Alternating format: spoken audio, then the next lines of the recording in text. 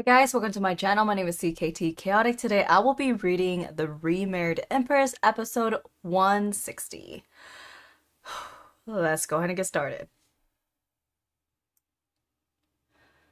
Two days after we sought McKenna's assistance, the rain finally stopped and the skies cleared.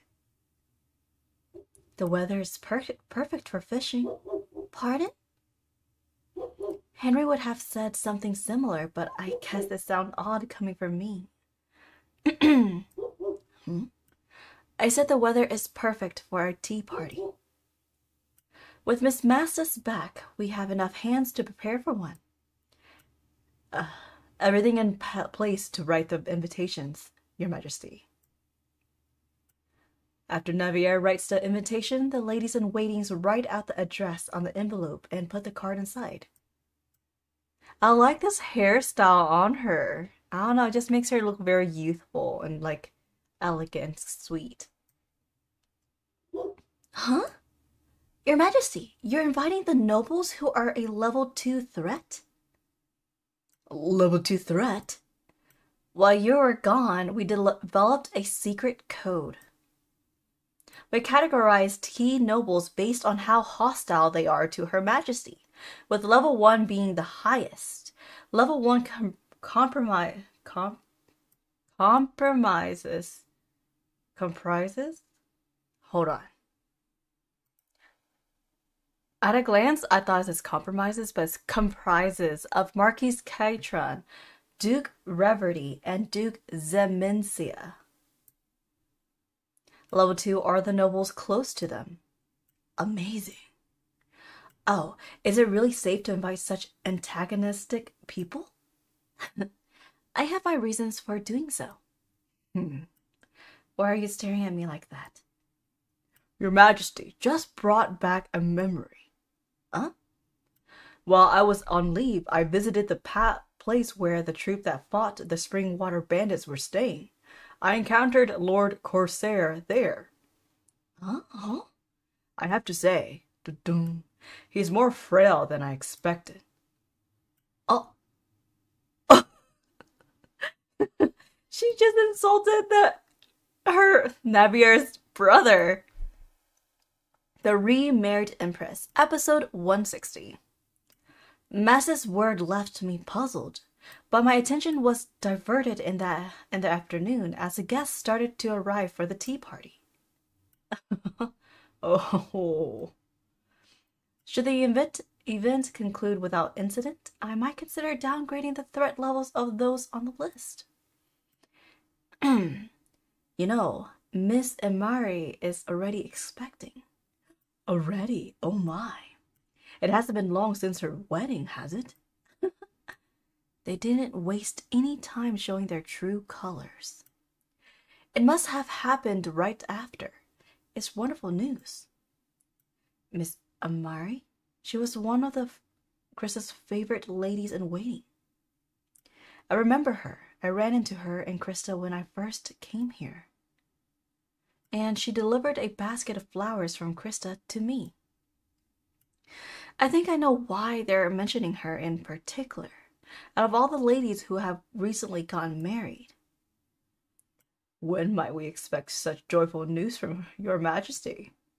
There it is. That's a private matter between their majesties. It's inappropriate to make it your business. Oh my, it was just a question. Their child will be the future of our empire after all. no need to be so defensive, Miss Mastas.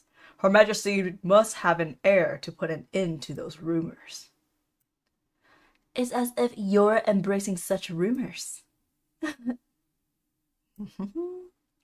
Lady Neon, you're jumping to conclusions. Is it not natural for a subject to show some interest? If I allow this argument to continue, if I allow this argument to continue, a level 2 threat is bound to slip and put their foot in it. But an empress shouldn't wait until that happens to say something. It's time I intervened. Oh! Huh? Oh, dear, how clumsy of me. Put on a serious face, Navier. Look serious. Securing an heir is important, but our immediate concern should be stabilizing the political situation. After all, there are tensions between our empire and other nations, including Whitemond. Indeed, Your Majesty, that is also important. yes, Your Majesty, is absolutely correct. It worked. I have them convinced that I deliberately avoiding the topic of heirs. I need to remember the names of those two in particular. Your brilliance never ceases to amaze me, my queen. I do hope our child takes after you. That wouldn't be ideal. Why not? I think they'll be adorable if they were. Very, very adorable. What a strange thing to think. A child who is as aloof as me is unlikely to be cute. Now, a child that resembles Heinrey would be adorable, like the baby bird I saw in my dream. Beep! He's like a little star! Ah. it's too cute. No, perhaps that's not ideal either. It wouldn't be hard to educate a child with my temperament. Oh, she wants two kids? Anyone who saw me grow up, including my parents, can attest to that. Oh, wait, that's her family. Right? Yeah, that's her family. So and that's her brother, and that's uh, Navier. Okay, got it. But say the child is a mischief maker who only acts sweet and innocent around me. Oh, little bird. Hmm. How does one educate a child like that? Hmm. Heinrey, will you tell me about your childhood? Pardon? That came out of nowhere. Do you want to know more about me? They say a parent is a mirror for their child. Not only do I want to learn more about you, I want to prepare myself for. Uh, or rather, I want to form a picture of the child who's likely to take after you. Hmm. I don't agree with the notion that the parent is a mirror for their child. Why not? She looks very different in this art style. Like she almost looks very Asian here. Like her eyes. I wasn't that dependent on my parents. Oh. Then were you an obedient child? I don't really remember. That sounds like a no. I do recall that I spent a lot of time roaming around outside. I took McKenna with me everywhere. His caretakers must have had their hands full trying to keep track of him. Heinrey might like a child who's similar to him. How would you feel about our child inheriting your personality?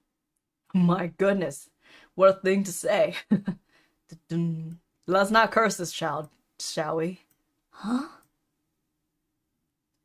The next evening, Heinrey didn't share much about his childhood, but I found another source. McKenna. hmm, hmm. The... What are all these boxes? the contents of these boxes will answer all of your questions. Ta-da! That is a painting of him as a child. Oh, oh my. He looks like a little troublemaker. Was he angry here? Every time His Majesty did something wrong, his mother would have an artist paint him. My goodness, she did. it was punishment for His Majesty, who hated staying still. So that's why he looks sulky in everyone. Take a look at this one. Originally, his mother gave them to His Majesty so that he could count how many time how many there were once he grew up but after he was caught trying to get rid of the evidence, I was in charge of storing them. That's a lot of paintings. He must have gotten into a great deal of trouble. It's cute, but it also worries me. There's still a chance the child might take after me and behave. But that comes with its own set of problems. If the child is like both of us, A, troublemaker during the day. the bird just like making a lot of trouble. Secretly a model student at night. Let's see, what else can I show you? No, that doesn't sound great either. Tall. Oh, oh. what are you looking at? Do share. That is a sarcastic smile. That's not a genuine, like, what are you doing? Like, I'm curious what are you're doing here. That's a, oh, McKenna, you are in trouble. Look. well, we, we have to wait to find out. I'm sorry, you guys, for stuttering today and just misreading some of the words. I was just like, yo, what is going on? But I had dinner and I had some like sweet lemonade, and I think it's kind of making me hyper. So, sorry.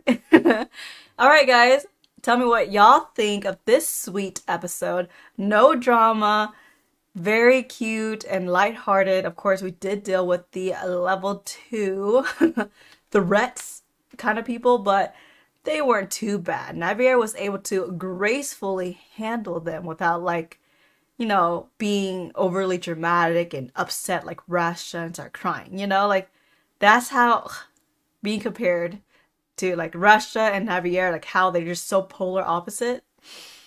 It shows, okay? It shows who is deserving to be an empress versus, yeah, forever a mistress. But anyways, if you guys enjoyed the way I read this, feel free to subscribe, leave a thumbs up, drop some comments, and I'll catch you guys next time. Bye!